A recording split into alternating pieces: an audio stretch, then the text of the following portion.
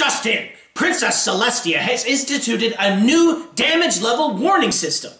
As everybody knows, the previous warning systems, from Shining Armor's shield spell to easily squishable alarms to having Derpy Hooves fly around and shout real loud if something dangerous comes close, to just, uh, shrugging and hoping all those villains locked up in Tartarus don't happen to escape, have ended in complete disaster.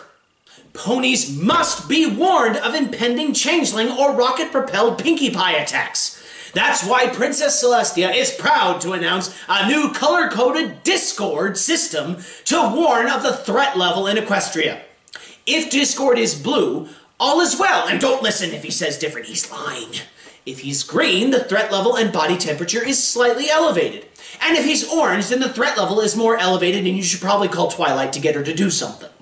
If Discord is purple, there is elevated risk of buffalo incursions. If he's plaid, the burning ducks are attacking. If he's cerulean, your printer is out of ink. And if he's pink, it's a girl, congratulations. If he's the color of magic, be on the lookout for rampaging Terry Pratchett's. If he's indigo, you need to get your eyes checked. And if he's invisible, the newscaster is lying. A Princess Celestia is confident that this new warning system will totally work and be much more effective at giving ponies a proper warning before their world is once again nearly destroyed.